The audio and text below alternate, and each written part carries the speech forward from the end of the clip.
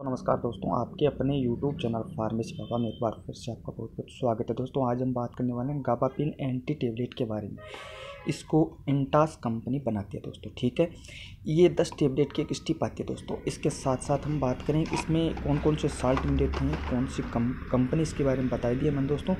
अब इसके MRP rate के बारे में बात करें तो इसकी एमआरपी रेट लगभग साढ़े चार सौ रुपये इसकी एमआरपी रेट तो दस टेबलेट की स्टिप आती है दोस्तों, ठीक है? इसके साथ साथ हम बात करेंगे इसमें जो गाबा पेंटिन होता है, ये गाबा पेंटिन होता है जो 400 सौ एम इसमें मिला होता है। इसके अलावा इसमें नोटोलिन होता है जो हाइड्रोक्लाइड ये इसमें 10 एम इसमें मिला होता है, ठीक है? अब हम बात करें इसका जो उपयोग होता है कौन कौन सी बीमारी में इसका सबसे ज़्यादा इस्तेमाल किया जाता है और कौन कौन सी बीमारी में इसका अन्य बीमारी में किन किन में इसका इस्तेमाल किया जाता है। सबसे पहले हम बात करें इसकी बीमारी के बारे में।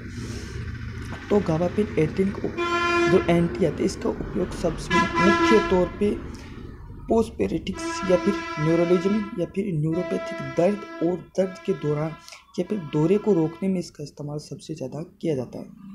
अब हम बात करें इसके और क्या क्या किन में इसका उपयोग किया जाता है। यह टेबलेट उन दर्द और दौरों के लिए जिम्मेदार या फिर रसायन या और रसायन या फिर तंत्रिका को प्रभावित करके दर्द के इलाज में इसका इस्तेमाल सबसे ज़्यादा किया जाता है।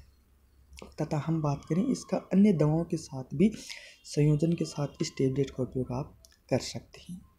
हम बात करें इसका सबसे ज़्यादा जो उपयोग होता है उसके बारे में तो पोस्ट हेरिप्टिक्स न्यूलियर न्यू यानी कि नर्लिगिया में इसका सबसे ज़्यादा इस्तेमाल किया जाता है। इसके अलावा न्यूरोपैथिक दर्द में इसका इस्तेमाल किया जाता है दोस्तों।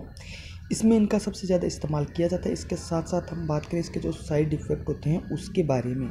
लेकिन इसके बारे में बताने से पहले एक बार फिर बता दूँ, अगर आपने अभी तक चैनल को सब्सक्राइब नहीं किया तो आप चैनल को सब्सक्राइब कर दें बेल आइकन और भी जाके प्रेस कर देंगे आपको वीडियो अच्छा लग रहा है।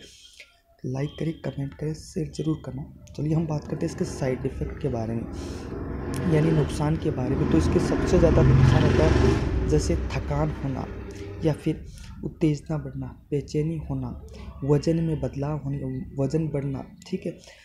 धुंधली दृष्टि का होना, ये इसके कुछ हल्के साइड साइड इफ़ेक्ट देखने को आपको मिल सकते हैं। इसके साथ साथ हाइपर टेंशन की भी शिकायत आपको देखने को मिल सकती है। दोस्तों, धन्यवाद।